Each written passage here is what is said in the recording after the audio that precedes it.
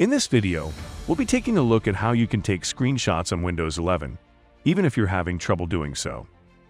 First method is taking screenshot with print screen key, given on a keyboard.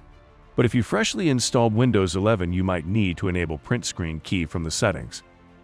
To enable print screen, type print screen in search box and select use the print screen key to launch screen snipping. Now, click this toggle bar to enable the print screen key. Once you enable the print screen key, simply press the key on your keyboard and it will launch Screen Snipping tool.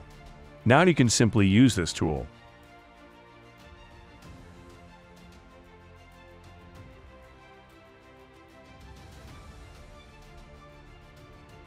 You can also use Snipping tool given in Windows 11. To open the Snipping tool, simply type Snipping in search box and click on the Snipping tool. Once the tool is open, select Mode by clicking on this dropdown and click on New. Simply drag the mouse cursor to select area and screenshot will be taken. Now you can copy this screenshot by clicking on this icon and paste it wherever you want to paste. You can also save it by clicking on the Save button. So that's it for this video. If you like this video, hit like, hit subscribe, and press bell icon to enable notifications for future videos. Thanks, and have a fun!